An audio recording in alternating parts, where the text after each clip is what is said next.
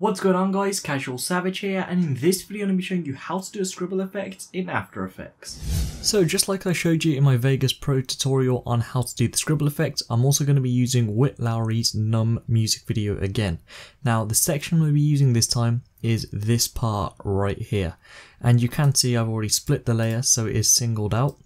And yeah, let's get into it. So the first thing you want to do is double click the layer.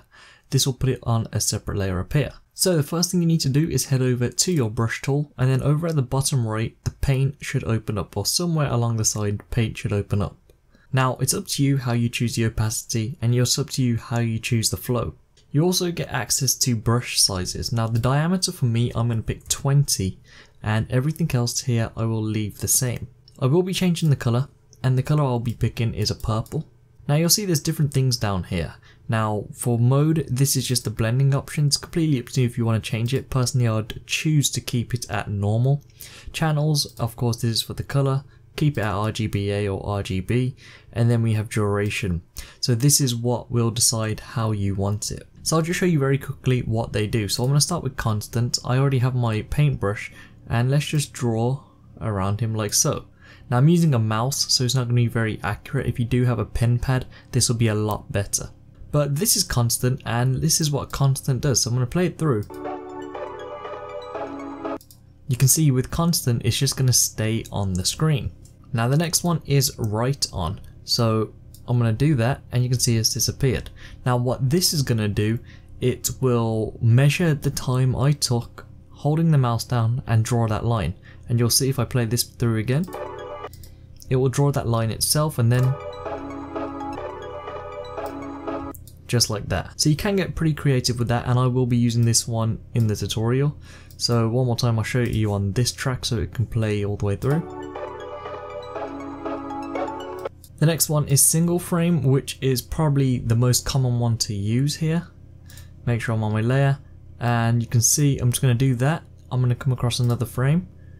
I'm going to do that. I'm going to come across another frame and do that. Now it's going to come out very bad but you'll know why I done it. So you can see that's what it does. Single frame means it's going to be on for one frame. So this is the first frame I've done, this is the next frame, and that's the third frame. And of course, you'll go all the way along. Now the final one we have down here is custom. Now from the get-go you need to set the length of the frames you want it to stay on screen. So I've set it to 15 and if I just draw like this for example, this is now going to be on screen for 15 frames. So you can see we are currently at 10.04 so that means at 10.19 it should go off screen. So still on screen. And there we go right at 19 so that's 18 19 it goes off. And that's basically what custom is. So you can choose how long you want it to stay on screen. But anyway getting into the way I'm going to be doing it I'm going to be using single frame to start with and this is what I'll be doing. So I'm going to be drawing around him like this then I'm going to go to the next frame. I'm going to draw around the shoulder part like that, go over to the next frame, and I would recommend zooming in um, when doing this to be more accurate, but because I'm just doing it for the tutorial, I don't need to be too too accurate here. And this will require some patience, so if you're not a patient person, don't attempt this because you'll probably end up breaking your monitor.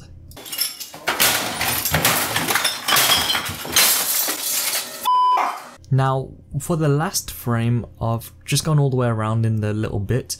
What I'm going to do is cover all of him up. Now, it's not going to be 100% accurate, again, because I'm using the mouse. I'm trying my best here. But, yeah, this is what I'm going to do for the last frame. Like that. And then, this is what I have just done. You can see just like that. So if I play it through like this, you can see the purple lines are running around his body and then it comes to a full set like that. Now you can always come down here to the layer, press this arrow, you can see effects, you can see paint, and this is everything you've done so far. Now you can see I can hide layers by doing that, completely op optional if you want to do that. Um, this layer right here I actually want to delete, and yeah, let's continue. So now I've got through that part, which is the lines going across his body. What I'm going to do is do the same thing again, but this time with a red. So up a bit, next frame, and then yeah, just keep going like this. There we go, and this is now done. So I've done the purple and I've done the uh, red. So this is what I've currently done so far. You can see just like that and it's happening very quick. Of course to make it look like it's lasting longer but have it the same duration just do it in little short uh, strips and then you'll be able to see more of it. I've done it quite big as you can see so that's probably a mistake on my part but it does still look good. Now the next thing I'm going to do I'm going to come across to this scene so you can see his head was like that and I'm going to leave it uh, plain for a couple of frames after this and then when it gets to this scene I'm going to be changing it up so I'm going to be changing it up by using the duration and this time I'm actually going to be using the right arm. Now for the colour, I will actually go with a green. Now I'm also going to be putting up the diameter, I'm going to be putting it up to 30, maybe a bit bigger, I'm actually going to go to 50. Um, I'm going to leave everything else the same. And now let's go. So that's one. I'm going to go to the next frame.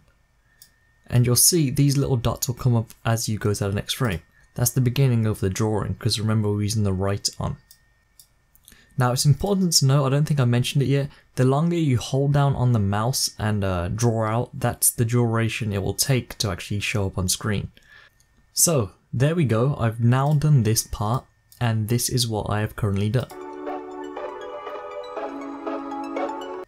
Just like that.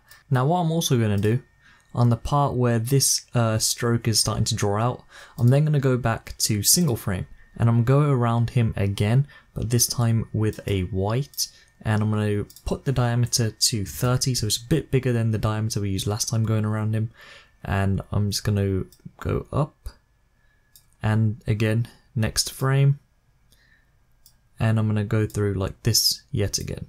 So almost at the last frame now and last one and I'm done. Now you can see because I downloaded the music video, he already had black bars on the video. So I went over a little bit there, so we'll be pressing Control uh, Z to undo that and just finish it off like this. This is all complete because that's all the frames done. And let's just see what we created. Now, I just did a bunch of random effects in one, just to show you all the uses and how it will actually look.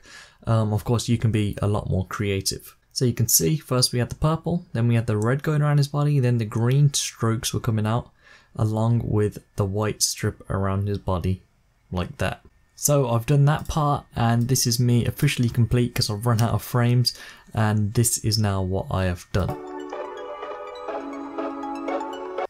So you can see now we can see the white running along a lot more because I put it on um, more than uh, twice. So I'll put it on here and then I'll let it run over again as well. And that's how you create a scribble effect in After Effects. So that's it for the tutorial. Hopefully this has been useful for you. Thank you so much for watching. Please subscribe, rate, and um, peace.